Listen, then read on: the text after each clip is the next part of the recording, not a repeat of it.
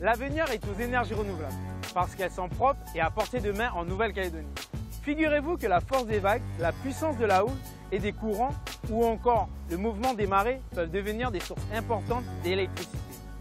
Même la différence de température entre l'eau de surface et l'eau de profondeur peut également faire l'affaire.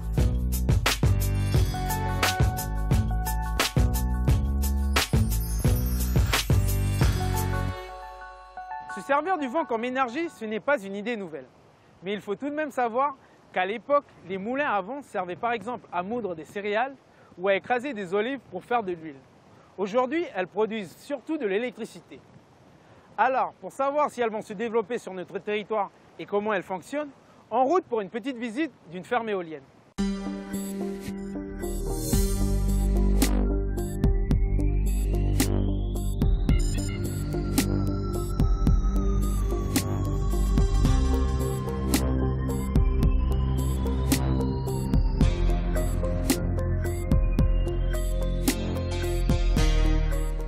Une, éolienne est composée, euh, tout le monde l'a en tête, hein, euh, d'un mât, euh, de pales qui constituent le rotor. Donc le vent va appuyer sur les pales d'une éolienne, les faire tourner et engager ainsi une rotation. Cette rotation va aller exciter une génératrice et cette génératrice va produire des électrons de l'électricité qui ensuite euh, euh, va transiter via un réseau. Toutes les éoliennes sont interconnectées et ce, cette interconnexion, toute la production ensuite va être centralisée sur un poste de livraison euh, qui va permettre à toute l'électricité produite d'être délivrée au réseau public et ensuite d'être distribuée auprès des consommateurs qui sont autour de cet outil de production.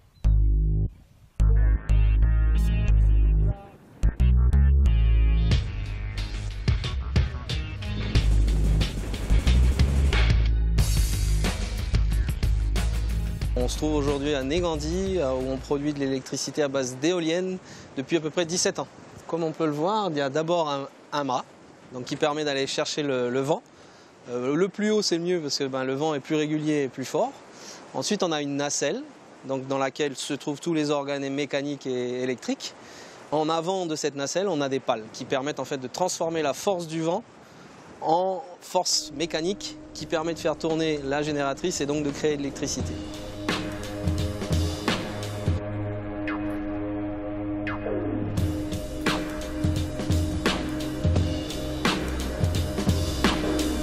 Ce site il est équipé donc de 17 éoliennes, on, a à peu près 3 MW de, possibilités. Et sur une année, ici c'est à peu près 5 gigawattheures et ça correspond à la consommation d'à peu près 1000 foyers. Donc pour faire assez simple, tout, à peu près deux mois dans l'année, euh, les éoliennes ici produisent toute la consommation nécessaire pour toute la ville du Mont d'Or. Et le surplus en énergie, parce qu'il y a du surplus, à ce moment-là, il est injecté sur Nouméa. En Nouvelle-Calédonie, on peut comptabiliser de façon assez simpliste euh, euh, deux grandes zones de production éolienne. Donc il y a une zone à, proche de Coné, à Unjo, la ferme de, café à thé.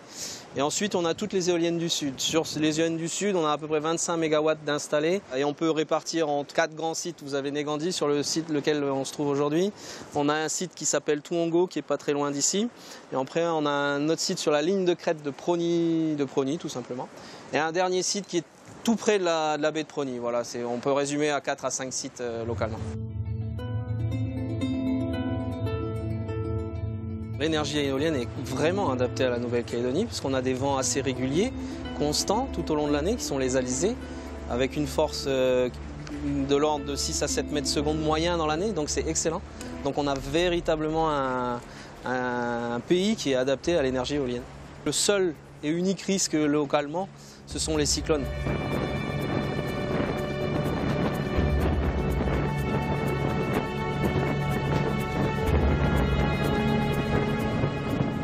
Un cyclone est annoncé, euh, donc les éoliennes avec deux pales, ben, on les rabat. Donc on lance une campagne de rabattage, donc on rabat toutes ces machines. Et sur les sites comme ici où on ne peut pas les rabattre, on a des groupes, enfin là ici on a un groupe de secours qui permet aux éoliennes de, suivre le, vent et, et notamment l'œil du cyclone quand il passe. Ça permet de s'orienter et de suivre le vent. Et les éoliennes se mettent en drapeau comme ça, avec les pales comme ça, et se mettent en sécurité. Quand tu as moins de 4 à 5 mètres secondes, c'est-à-dire 10 km heure à peu près, elles, suivent le vent, elles tournent, mais elles attendent que le vent augmente. Passer ce, seuil de vent, là elles produisent. Donc elles vont produire jusqu'à ce qu'il y ait trop de vent. En général, c'est au-delà de 100 km heure. Donc là, elles se mettent en sécurité. L'idée, c'est de, de- on ne peut plus produire s'il y a trop de vent.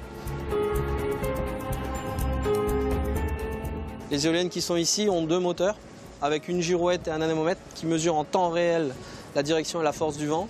Donc euh, si le vent évolue, euh, change de direction, hop, les moteurs tournent et la machine s'oriente pour avoir un rendement optimal. Alors un anémomètre sert à mesurer la, force et la vitesse du vent, ce qui permet au système de régulation interne à la machine de calculer au mieux la, puissance euh, disponible grâce à la force du vent. C'est-à-dire qu'en fait la force du vent est transformée en couple mécanique et c'est cette force qui va déterminer la capacité de, la génératrice à produire plus d'électricité.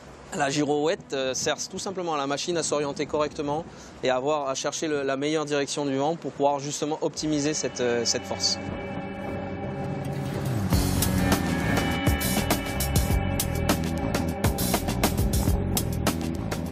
En Nouvelle-Calédonie et en général ailleurs, l'avantage principal de l'é- l'énergie éolienne, bah, c'est tout simplement que c'est une énergie abondante, c'est une énergie renouvelable. Et en contrepartie, ce qu'on peut considérer comme un inconvénient, c'est que c'est une énergie qui n'est pas constante. Elle, évolue en fonction du temps, donc elle n'est pas garantie. On n'a pas tous les jours du vent, euh, c'est malheureusement le cas.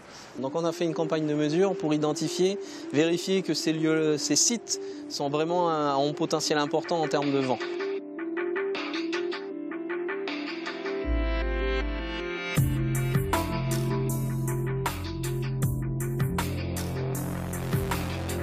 Alors là, c'est le point culminant euh, du sommet de Negandi, le point le plus haut. Et euh, c'est pour ça que nos équipes euh, Yves et Marvin ont installé un mât de mesure afin de récolter les données de vent, c'est-à-dire direction et puissance, afin de comparer les données terrain avec les prévisions éoliennes de Météo France ou autres.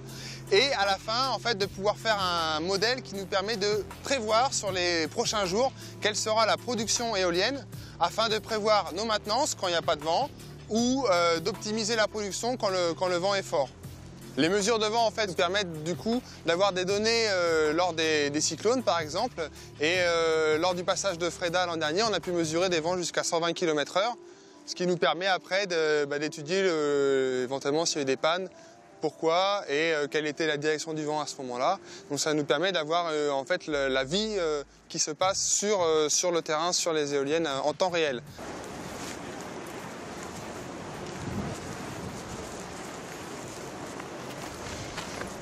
Bon, c'est parti. hein. Intervention pour euh, réparation de la, de la panne hydraulique sur la 9. Ça, c'est une maintenance préventive. Oui, voilà, une petite maintenance préventive parce qu'on a repéré des, des alarmes euh, qui prévenaient d'un niveau bas euh, d'huile qui allait arriver. Donc, on- avant qu'il y ait vraiment la panne, on va faire un petit appoint d'huile hydraulique.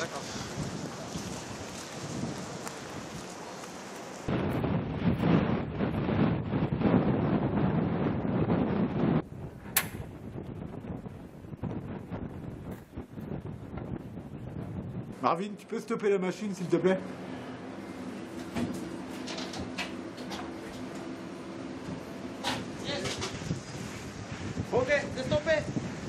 Équipes ont arrêté la machine pour pouvoir faire l'intervention euh, à l'intérieur de l'éolienne pour pouvoir euh, faire la pointe d'huile hydraulique euh, qui est l'intervention du jour.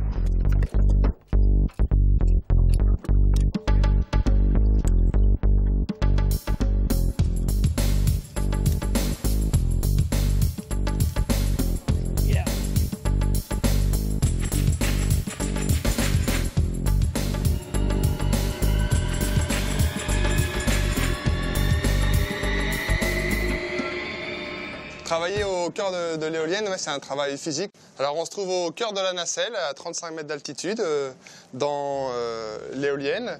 Et on peut voir donc euh, bah, la partie production de l'éolienne en elle-même, son, cœur, l'alternateur, et par derrière les, les pales qui, qui, une fois entraînées par le vent, permettent de produire donc de l'électricité.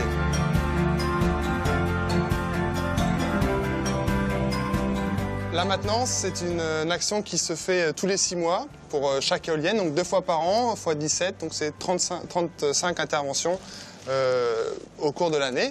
On fait un entretien au quotidien, ce qui permet d'avoir euh, des machines qui sont performantes tout au long de l'année.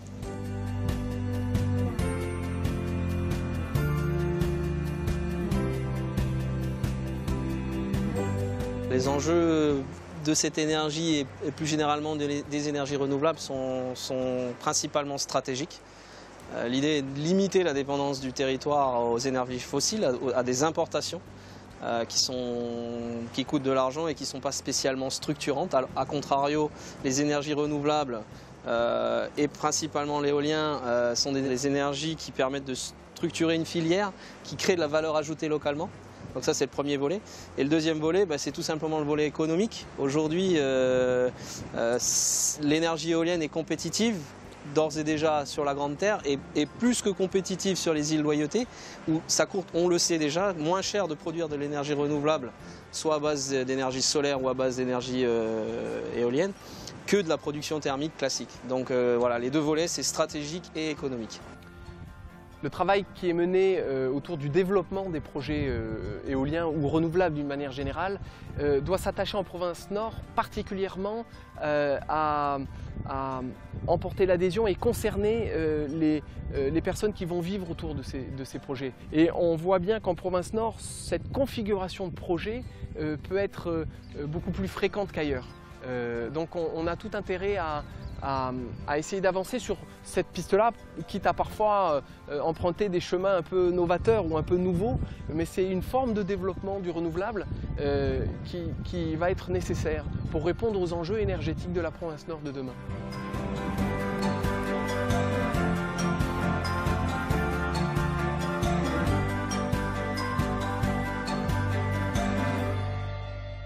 Connaissez tous l'existence des panneaux photovoltaïques que l'on retrouve sur le toit de certaines maisons Alors, avec le capital soleil dont on dispose toute l'année, cette énergie va-t-elle se développer sur notre territoire?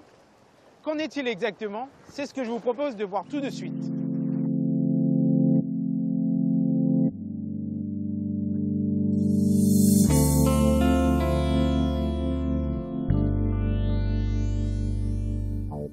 Est donc au sein de la centrale photovoltaïque euh, d'Elios B, euh, qui est installée dans la région de, Tontouta en fait. C'est une centrale qui représente une puissance instantanée de 2,1 MW. Euh, ça fait à peu près 2 hectares de capteurs photovoltaïques. la production annuelle démontrée maintenant, on est autour des 3 millions de kWh par an, ce qui va correspondre à peu près à la consommation annuelle de 1000 foyers. Cette ferme photovoltaïque, en fait, elle est constituée de 9980 panneaux euh, chaque panneau produit du courant continu, le même courant qu'on va trouver dans les batteries de voitures par exemple. Tous ces panneaux sont assemblés euh, électriquement en, branches série pour monter la tension. L'idée, c'est de ne pas avoir trop de pertes parce qu'on voit qu'on est quand même sur une surface de 2 hectares, donc avec des, très longs câbles. Et tous ces panneaux-là, ensuite, sont euh, assemblés électriquement en parallèle pour arriver à une puissance globale qui correspond à 2,1 MW. Mais là, on est encore en courant continu. Après, l'essence de cette centrale est d'injecter de, l'électricité sur le réseau électrique de Nouvelle-Calédonie. Donc là, on, va avoir des onduleurs qui vont convertir ce courant continu en courant alternatif, compatible avec le courant du réseau de distribution, le même courant que, tout le monde a, chez soi pour alimenter ses lampes, sa télévision, son climatiseur, etc. Les panneaux photovoltaïques sont constitués de cellules. Euh, vous pouvez voir euh, derrière moi les, les petits carrés bleus qu'on voit sur les panneaux. Et ces cellules, en fait, elles sont préchargées électriquement. On va avoir donc euh, le pôle euh, négatif sur la partie visible et le pôle positif sur la partie cachée qui est donc au dos du panneau. Et donc euh, on, a, on, a, donc un ensemble qui est instable électriquement et les photons qui sont des, particules sans masse produites par le rayonnement solaire excitent ces électrons qui, sont donc en façade des panneaux et ces électrons sont attirés euh, par la face arrière et on crée ainsi un, courant électrique qui est collecté par des petites électrodes qu'on voit également en façade qui, jouent le rôle tout simplement d'un conducteur électrique.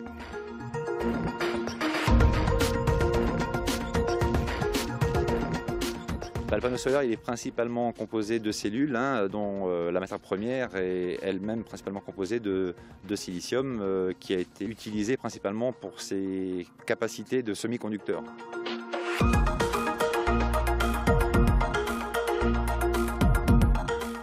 Dirais techniquement, sur ce projet en particulier, la principale contrainte a été euh, euh, l'implantation sur le foncier disponible, qui est relativement serré, parce qu'on parle quand même de, plus de plus de 2 hectares de panneaux solaires. Tout ça sur un terrain qui a un, relief pas très abrupt, mais qui n'est pas plat.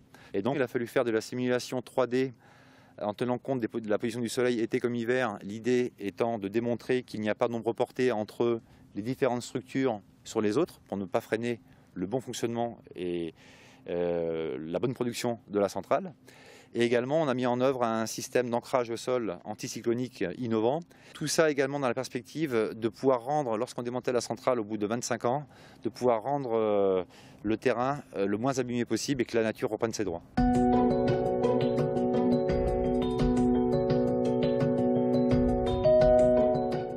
l'énergie photovoltaïque est particulièrement adaptée à la Nouvelle-Calédonie parce qu'on a d'une part l'ensoleillement, euh, qui est intéressant, on est à peu près à 2000 heures d'ensoleillement par an. Et d'autre part, sur ce site en particulier, euh, on a les alizés qui euh, ventilent les panneaux, on le voit un petit peu aujourd'hui, parce que les modules photovoltaïques, paradoxalement, n'aiment pas trop la chaleur. Donc c'est pour ça que sur cette centrale-là, on a des rendements annuellement nettement supérieurs à ce qu'on peut constater, notamment aux Antilles, où là, il fait beaucoup plus humide, il y a beaucoup plus de nuages, il y a beaucoup moins de vent, et les rendements sont un peu moins bons. L'avantage de, ce type d'énergie, euh, il est multiple. Hein, euh, euh, le principal avantage, c'est qu'on voit que c'est quand même une installation qui, à part les onduleurs, qui est quand même passive. Aujourd'hui, ce sont des installations qui sont pertinentes économiquement, c'est-à-dire que là, il y a des projets qui sont montés sans aide à l'investissement, sans subvention, sans défiscalisation, sans rien, et qui, permettent de produire de l'électricité à un prix très compétitif. On voit qu'une fois que la centrale est installée, on ne produit aucune émission de gaz à effet de serre. Et puis, je crois qu'un des points principaux, c'est que euh, l'énergie qui va coûter, je prends un exemple, 20 francs CFP aujourd'hui sur une centrale photovoltaïque coûtera 20 francs CFP dans 25 ans encore.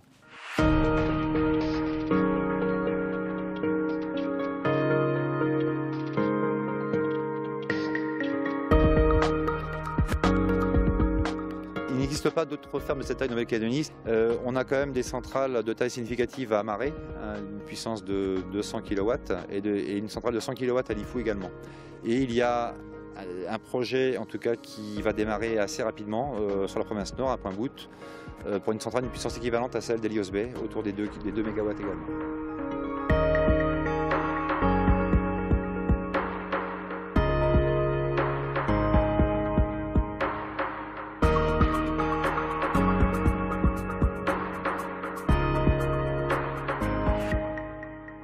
On se trouve à Point-Bout. Euh, on a actuellement une superficie d'environ 5 hectares ici qui va permettre de mettre une, centrale photovoltaïque qui sera connectée au réseau d'Enercal. Donc alors cette centrale photovoltaïque va représenter environ 13 000 m2 de panneaux photovoltaïques. On est autour de 8 000 panneaux photovoltaïques de 255 watts. L'intérêt également de privilégier de Point Bout, c'est qu'on est dans la zone du nord qui, bénéficie d'un taux d'ensoleillement euh, très favorable pour le photovoltaïque. Donc cette centrale photovoltaïque va produire euh, donc, à une puissance nominale de 2 MW, donc 2 MW crête, qui va représenter environ une production annuelle de 3000 MWh par an.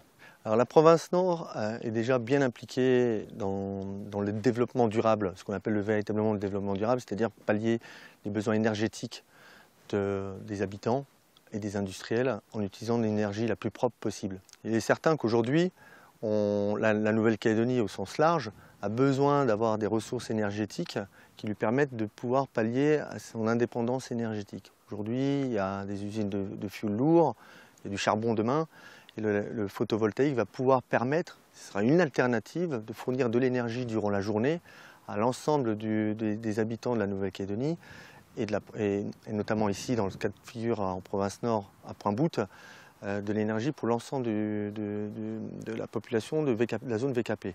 le site sera entretenu euh, toujours eu égard l'arrêté de l'ICPE.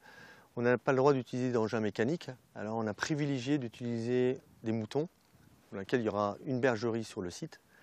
Et ces moutons-là, en collaboration avec un exploitant agricole sur la même propriété, va s'occuper de ces moutons et ces moutons, naturellement, viendront brouter euh, l'herbe euh, environnante autour des panneaux photovoltaïques. Donc l'intérêt de cette centrale par rapport à d'autres centrales photovoltaïques en Nouvelle-Calédonie qui sont actuellement en projet et qui, sont déjà installées, c'est que celle-ci va, répliquer le cœur de veau. Pourquoi le cœur de veau? Pour la simple et bonne raison qu'on est dans un site en province nord et le, le site de cœur de veau aujourd'hui est mondialement connu. On s'aperçoit qu'à travers les médias, à l'international, c'est une référence à plusieurs, à plusieurs titres. On l'utilise aussi pour l'écologie, pour l'environnement, pour la protection de l'environnement, les mangroves, euh, l'intérêt de préserver le biotope, etc. Donc on, euh, le propriétaire de cette centrale a eu l'idée de, mettre en place euh, une centrale photovoltaïque en forme de cœur pour répliquer et donner un sens nouveau et énergétique de, cette centrale photovoltaïque en province nord.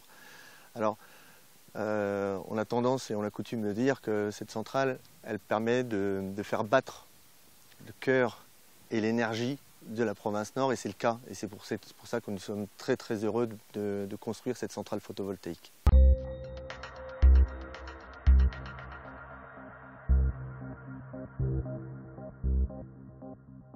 Pour voir ce qu'il en est des projets d'énergie marine sur notre territoire, direction en mer avec Jérôme Aucan et Lionel Houbersac qui vont nous expliquer ce que sont les énergies liées à la houle, à l'éolienne marine, à l'osmotique, c'est-à-dire la possibilité d'extraire de l'énergie dans les estuaires des fleuves ou des rivières, là où l'eau de mer rencontre l'eau douce, ou encore l'énergie que l'on pourrait récupérer de la différence de température des océans.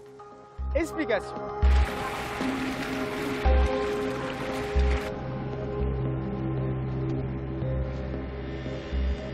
Alors les, hydroliennes, ce sont l'équivalent d'une éolienne. C'est des grandes hélices qui tournent avec la force du vent et qui font l'électricité. Les hydroliennes, c'est l'équivalent mais sous l'eau. C'est-à-dire que là, c'est les courants marins qui font tourner des grandes hélices qui, qui produisent de l'électricité. Donc généralement, ces hydroliennes, elles utilisent euh, les courants qui sont dus aux marées.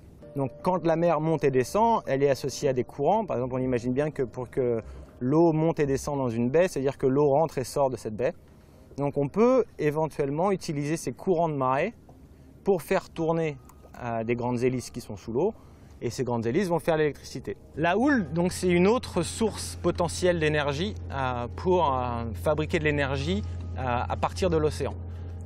Les systèmes qu'on utilise, c'est des systèmes qui vont récupérer l'énergie de la houle. Donc il y a plusieurs types, soit des, la plupart ce sont des bouées qui flottent, qui montent et qui descendent et qui font tourner une génératrice qui va produire de l'électricité. Ou alors ce sont des systèmes qui sont oscillants, qui sont posés au, fond de la mer. Et quand il y a une vague qui passe, en fait, il y a un, un mouvement de va-et-vient de l'eau qui peut faire osciller une pale qui, elle, peut générer de l'électricité. Alors, il y a aussi une autre forme d'énergie euh, renouvelable issue de l'océan qu'on peut utiliser, ça s'appelle l'énergie thermique des océans. Donc, le principe de l'énergie thermique de l'océan, c'est d'utiliser la différence de température entre l'eau de surface et l'eau de profondeur. Donc un, le principe en lui-même est connu depuis très longtemps. C'est-à-dire que grâce, si on a justement accès à ce qu'on appelle un point chaud et un point froid, donc le point chaud serait l'océan de surface, le point froid serait l'océan de profondeur. Si on a ce point chaud et ce point froid, on peut faire tourner une turbine. C'est-à-dire qu'on utiliserait l'eau de surface pour évaporer un liquide et l'eau de profondeur plus froide pour euh, reliquéfier ce liquide et entre les deux on aura fait tourner une turbine qui va nous faire produire, qui va nous produire l'électricité. Donc l'éolien marin, c'est l'utilisation du vent euh, par l'intermédiaire de grandes éoliennes qui seraient soit posées au fond, soit qui flottent au large et dont l'électricité produite serait ramenée par des câbles sous-marins à terre.